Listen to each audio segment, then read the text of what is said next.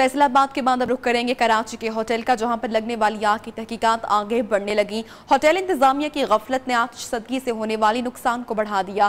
واقع کی تفصیلی رپورٹ کمشنر کراچی دو روز میں وزیر اعلیٰ سندھ کو پیش کریں گے۔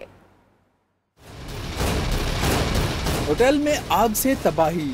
ہوٹل انتظامیہ ہنگامی حالت میں ہنگامی فیصلے نہ کر پائی۔ جانی نقصان بڑھنے کے اسباب سامنے آ گئے۔ فائر بریگیڈ حکام نے دو بج کر چوالیس منٹ پر آگ کی اطلاع ملتے ہی فوری طور پر فائر ٹینڈر روانہ کر دیا۔ آگ لگنے پر ہوٹل انتظامیہ نے دو گھنٹے تک بجلی کو معطل نہ کیا، جس کی وجہ سے امدادی کاروائی کے دوران تین فائر فائٹرز کو کرنٹ لگا۔ سینٹرلائزڈ اے سی سسٹم بھی بند نہ کیے گئے، جس پر اے سی ڈکٹس کے ذریعے دھواں کمروں میں بھر گیا۔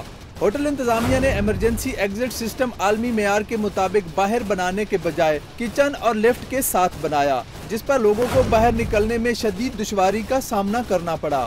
گراؤنڈ فلور پر فائر الارم بجنے کا بھی صرف ایک شخص نے بتایا۔ آگ سے متعلق مزید تحقیقات کے لیے حکام نے ہوٹل انتظامیہ سے معلومات لینا شروع کر دی وزیر اعلیٰ سندھ کی ہدایت پر کمشنر کراچی دو روز میں رپورٹ بنائیں گے۔